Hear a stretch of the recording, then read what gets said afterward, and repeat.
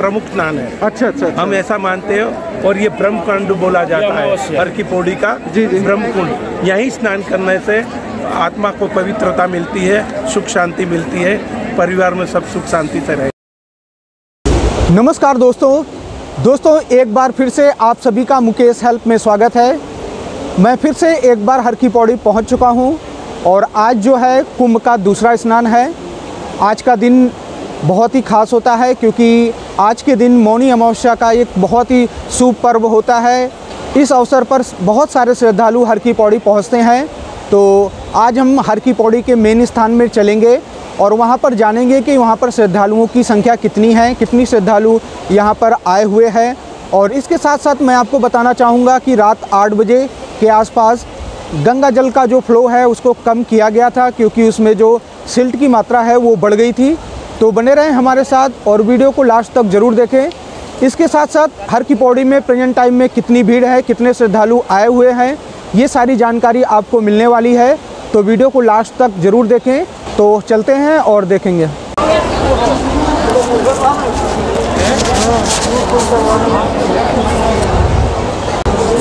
तो दोस्तों, अब मैं हर की पौड़ी के मेन स्थान ब्रह्मकुंड घाट पर पहुँचने वाला हूँ।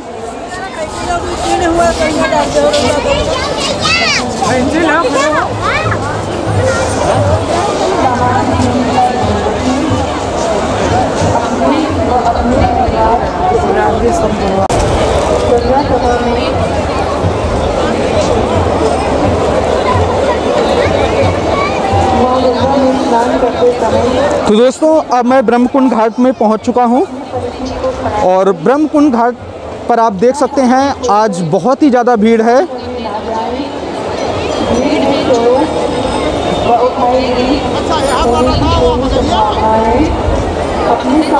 पर हज़ारों की संख्या में श्रद्धालु दूर दूर से पहुँचे हुए हैं।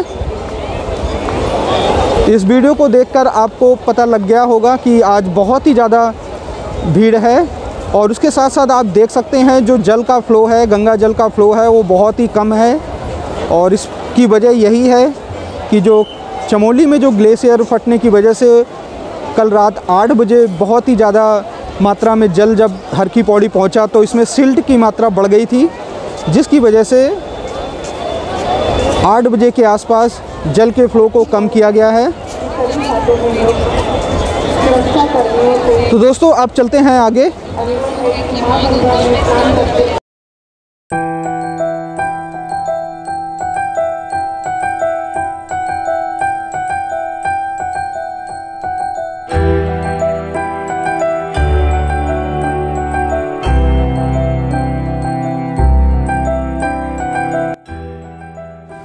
दोस्तों, अगर आप इसी तरह हरिद्वार कुंभ के सभी स्नान को देखना चाहते हैं, हरिद्वार कुंभ से संबंधित सभी जानकारी अगर आप पाना चाहते हैं तो आपसे रिक्वेस्ट रहेगी कि चैनल को सब्सक्राइब करके बेल आइकन ज़रूर दबा दें, ताकि आने वाली सभी इन्फॉर्मेशन आपको मिलती रहे।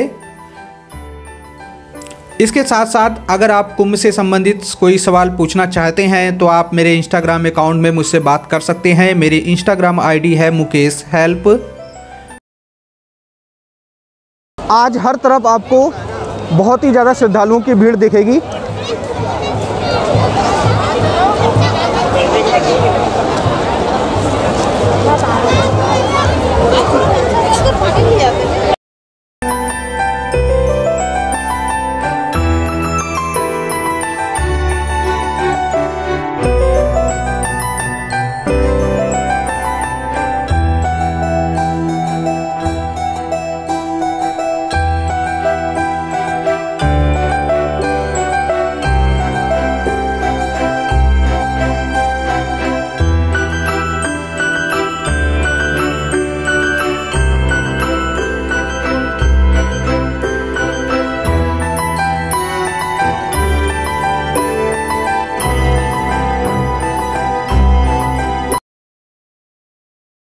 दोस्तों आज देख सकते हैं, जो महिला घाट है, वहाँ पर बहुत ही ज़्यादा भीड़ है और जल का फ्लो या जल कम ज़रूर है, लेकिन श्रद्धालुओं की जो आस्था है, वो लगातार जुड़ी है और श्रद्धालु यहाँ पर बहुत ही अच्छी तरीके से स्नान कर रहे हैं।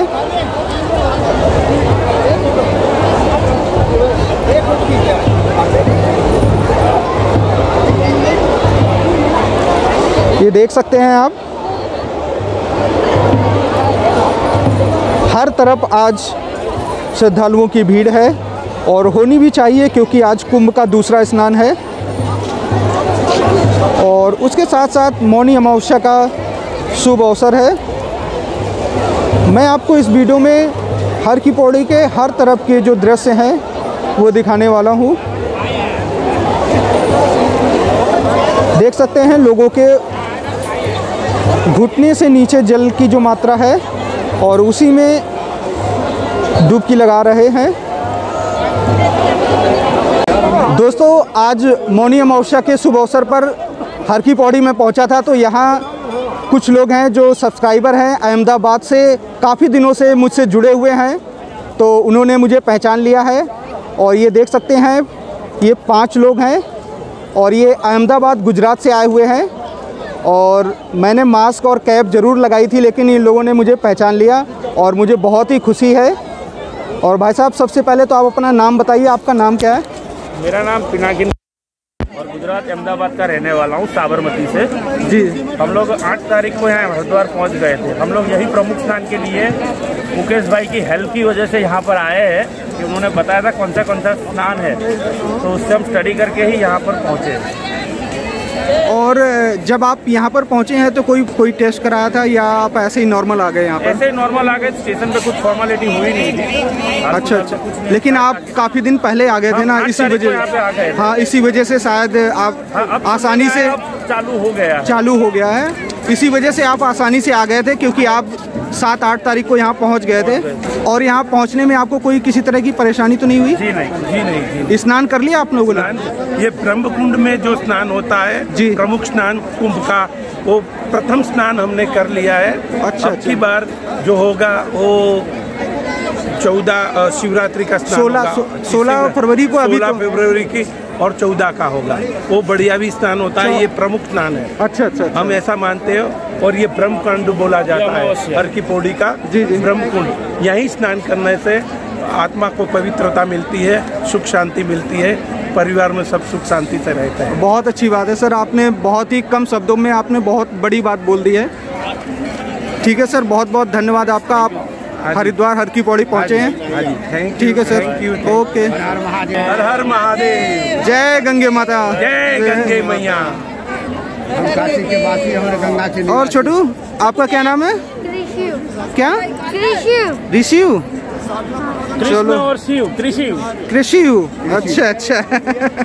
ये तो बहुत अच्छा। तो दोस्तों यहाँ देख सकते हैं सुबह सुबह का समय और ये सूरज निकलता हुआ। ॐ नमः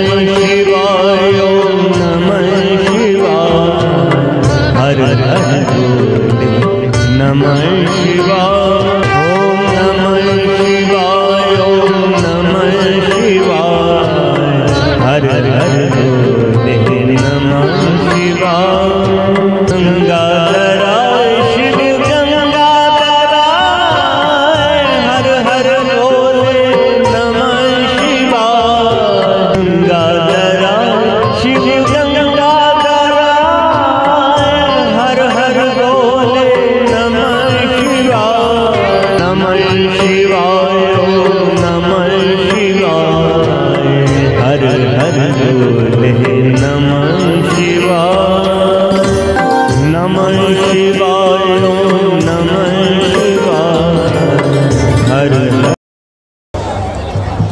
और दोस्तों, मैं आपको बता दूँ, ये सुबह के लगभग सात बजे का समय है और सात बजे ही हर की पौड़ी में इतनी भीड़ हो चुकी है और जैसे जैसे दिन निकलेगा, सूरज निकलेगा, ठंड कम होगी तो श्रद्धालुओं की भीड़ बढ़ने की बहुत ही उम्मीद है।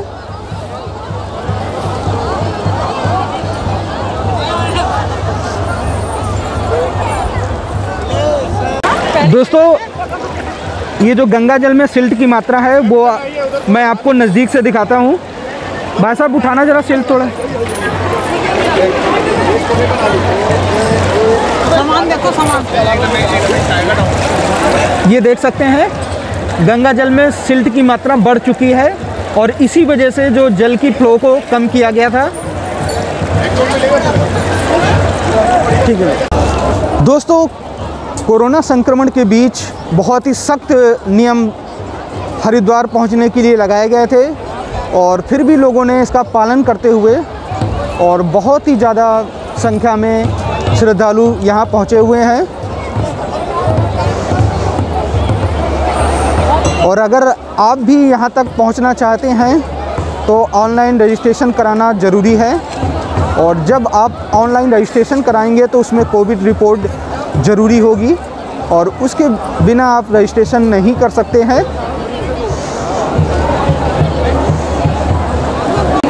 माँ गंगा में स्नान करने आए श्रद्धालुओं को तीन डुबकी लगाकर तत्काल बाहर निकालें ताकि अन्य श्रद्धालुओं को स्नान करने का मौका मिल सके।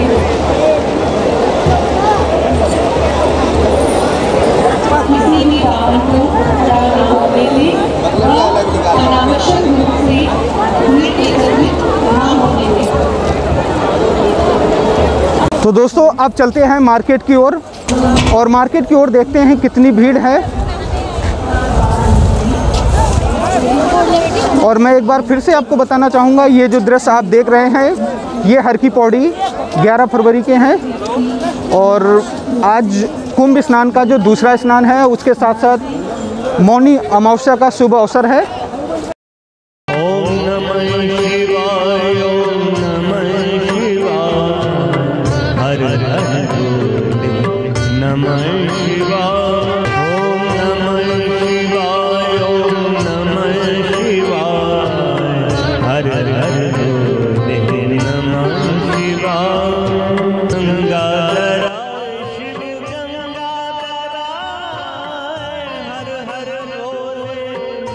वीडियो अच्छी लगी है तो वीडियो को लाइक करें और ज़्यादा से ज़्यादा लोगों को शेयर करें ताकि सब लोग घर बैठकर माँ गंगे के दर्शन कर सकें।